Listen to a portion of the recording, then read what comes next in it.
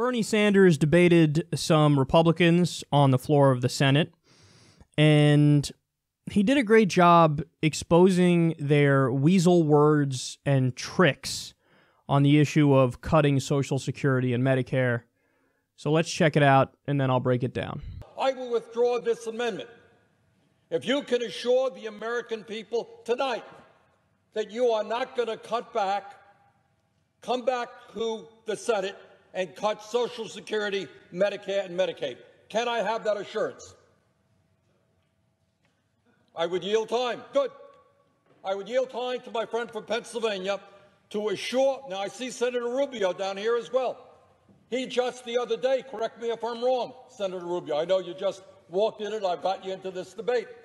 But correct me if I am wrong if you did not say yesterday that the Senate would now proceed to a quote unquote entitlement reform, which in fact will mean cuts to Social Security, Medicare, and Medicaid. And I would yield to my friend from Florida to tell me whether or not I am accurately portraying what he said just the other day. Mr. President. The senator for Florida. Mr. President, it would uh, surprise my friend to know that uh, in Florida we got a lot of people on Medicare and Social Security. One of them is my mother. If I were to cut her Medicare and Social Security, sir, I probably could never see her again or go home. So the answer to your question is no. As I've been clear time and again, I believe that for future generations like myself, there need to be adjustments made. All right. Thank you. But let me quote you. Let me quote you. Let me quote you, Senator Rubio. Tell me if this quote is right. This was a quote that you just made yesterday. And if I'm wrong, I apologize. But as I understand it, you spoke to a group of Wall Street lobbyists, and this is what you said, quote, Many argue that you can't cut taxes because it will drive up the deficit. But we have to do two things. We have to generate economic growth, which generates revenue while reducing spending. That will mean instituting structural changes to Social Security and Medicare for the future. End of quote. Now, let me help define what my Republican colleagues mean when they talk about structural changes to Social Security and Medicare. It was that at a time when senior citizens are splitting their pills in half, Republicans will go forward with massive cuts to Medicare. Now, maybe, maybe their idea will be to raise the retirement age to 70 forcing older workers in terms of Social Security to work more before they can get their benefits. Maybe it will be privatizing Medicare and giving people a voucher. When my Republican friends talk about saving Social Security and Medicare, what they are talking about is cutting it. Would the gentleman yield? I will yield. Thank you.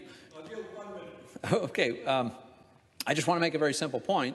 Um, the senator from Vermont is concerned that we're going to somehow cut Medicare or Medicaid. Neither, neither word appears in the bill. But furthermore, if that were our plan, this would be the perfect vehicle to do it. It's reconciliation instruction. We could do it without requiring a single Democrat vote. We could do it. We could finish it. We've got control of the Republican House. If we had any intention to do that, this would be the vehicle. But the words don't even appear. What I did say is that when this legislation is passed and you add $1.4 trillion to the deficit, that you are going to come back and cut Social Security, Medicare, and Medicaid.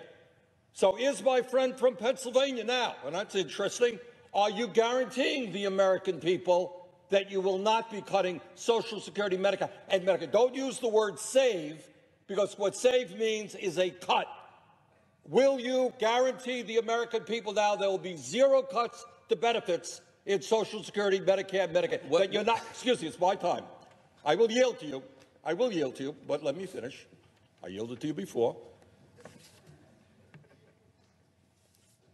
Will you guarantee the people of this country that after this bill passes, you will not come back raise the retirement age, voucherize Medicare, raise the retirement age to Medicare, cut cost of living increases by in instituting a so-called chained CPI. Do I have your word on that? So, so I have to disappoint the senator from Vermont by informing him that there is no secret plan to do any of the above.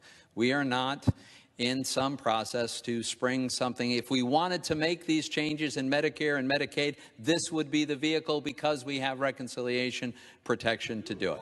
You know, let me just be very clear. I'm happy to hear this. Do I have your word now that you, as a senator, I know you can't speak for everybody, that you, as a senator, after this bill is passed, and I suspect it will be, you will not support any cuts to Social Security, Medicare, and Medicaid. Do I have that word I, from you? I, I am not going to support any cuts to people who are on the program and need Ah, those benefits. there it is. But I want this program to survive. I'm going to acknowledge that me, we, we need this time. program for the next right, generation he just too. Let the, he just let the cat out of the box, or whatever the phrase is. He just told you he's going to cut Social Security. That's it, my friends. He will not cut it. What he just said, he will not cut it for people who are on Social Security right now. I hear that. But if you are 50 years of age or you are 55 years of age, they just told you, my friend from Pennsylvania just told you, they may go forward to raise the retirement age.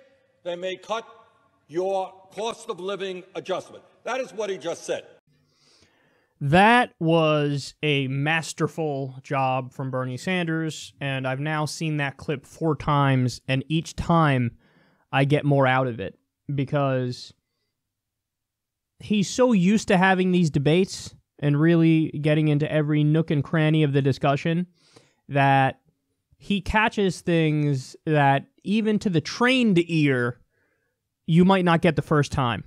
So this is what the Republicans have uh, done for a while now is they will frame what they want to do to Social Security and Medicare as quote reforming it.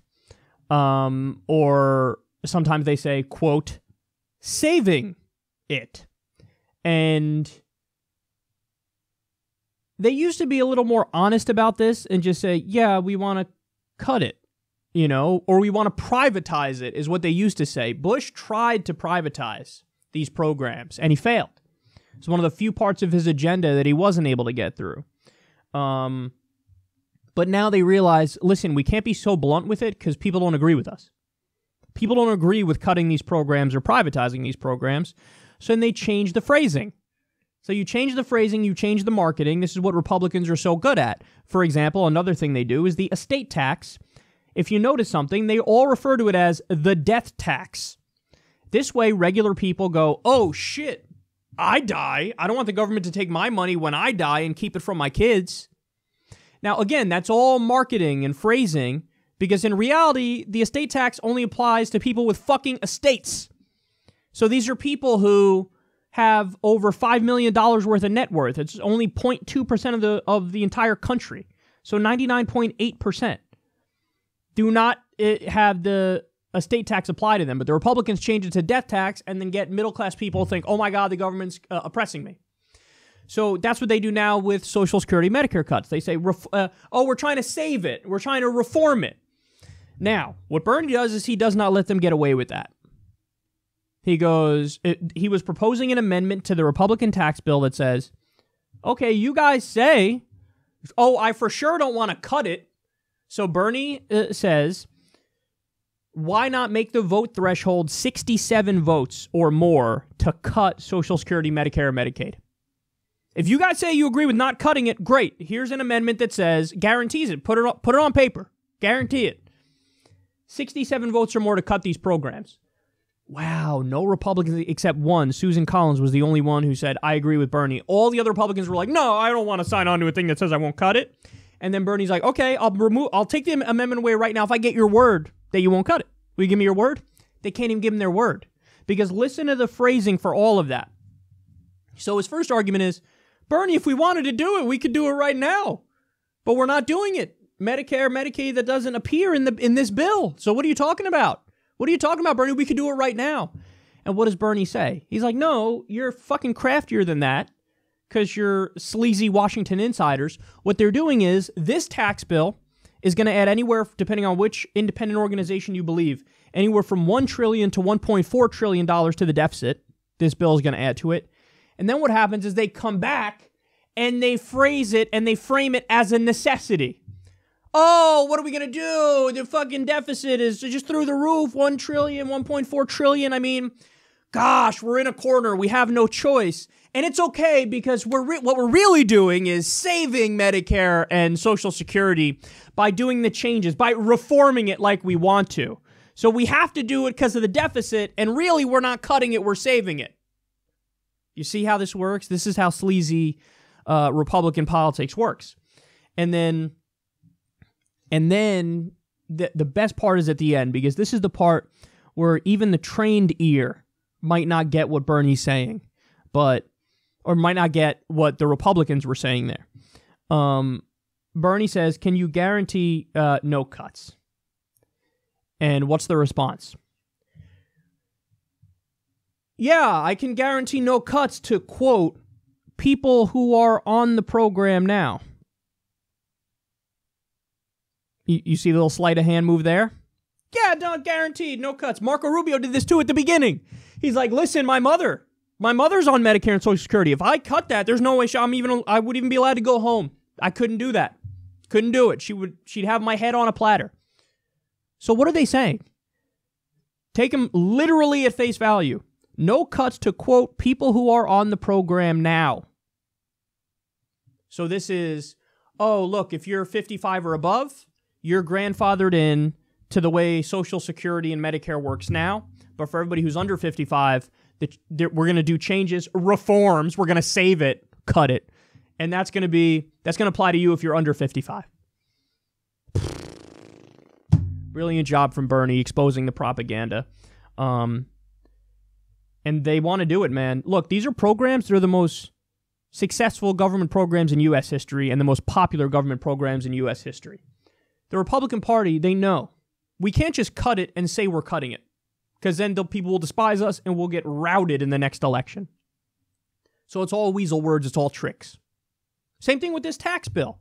They're saying it's a 1.5 trillion dollar tax cut. That's how they're they're framing this bill. What's the reality? It's the biggest tax increase on the middle class in US history by far. Cuz what happens is it's 6 trillion dollars in cuts. The overwhelming majority goes to the rich and it's 4.5 trillion dollars in tax increases to the middle class. So they say uh, tax cut bill, tax cut bill. No, it's a tax increase. It's all in how they they they frame it. It's all in how they market it. And that's exactly what they're working on now with Social Security and Medicare. All their weasel words, saving, reforming, all their fucking sleight of hand tricks. No cuts to people who are on it now. Well, that doesn't mean everybody. That means at a certain age, you cut it off and say, you guys are going to get fucked. The other people are not. And remember, they're robbing you. This is your money. You pay into it. You're getting out what you paid in. That's why the word entitlement is a bullshit uh, word. It's a bullshit descriptor for the programs. You know what it really is, right? Earned benefit programs. Earned benefit because you earned it. You paid into it. So here we are, Bernie Sanders. It's always watching him on the floor of the Senate is like watching some sort of Twilight Zone episode or something. It's like you have one man left in the world who makes sense, and he's just having to fucking bat away the bullshit of all of the cretinous people around him who are actively trying to do damage to the American middle class. Okay.